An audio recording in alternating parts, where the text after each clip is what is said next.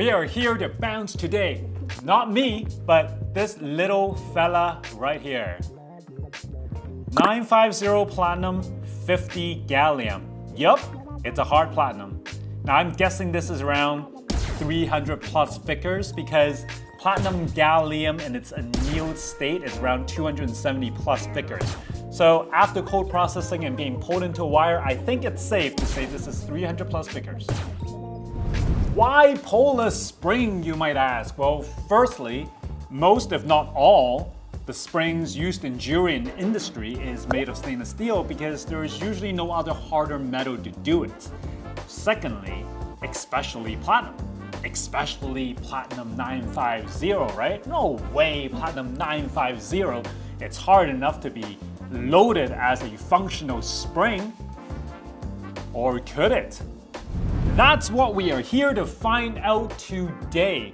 To see if platinum 950 is hard enough to be pulled and coiled into a functional spring for a functional clasp. Pulling the wire was a huge difficulty because the platinum gallium was just so hard to work with.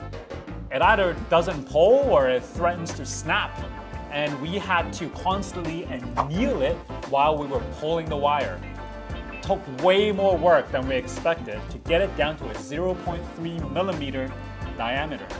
We then coiled it at a non-jewelry springs factory, Lee Springs, who have all the proper equipment to pull springs of all different sizes.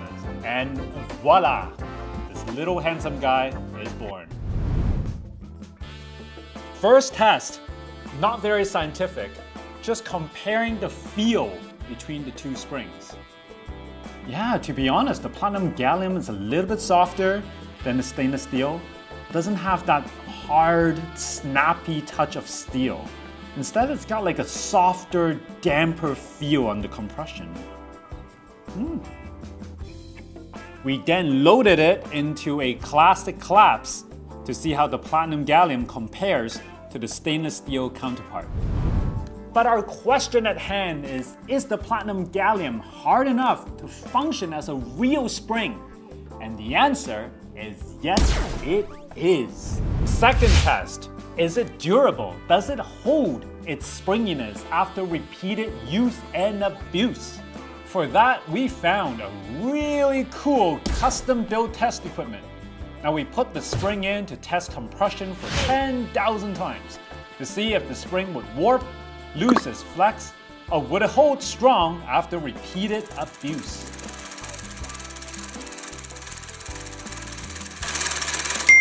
And I'll say, it holds pretty well.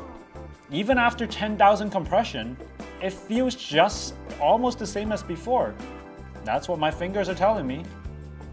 We are not suggesting that stainless steel springs should be replaced by platinum springs. We just want to push the boundary on how hard Platinum 950 could be. Because you know the market has all this misconception about PT950 not being hard enough of a metal, which is a total ridiculous myth, we are here to disprove. Now hey, if Platinum 950 is strong enough and hard enough to load a spring, it's definitely good enough for your standard jewelry, especially for gem setting. And again, we're not saying platinum springs are now hard enough to replace the stainless steel spring in jewelry class. Or could it?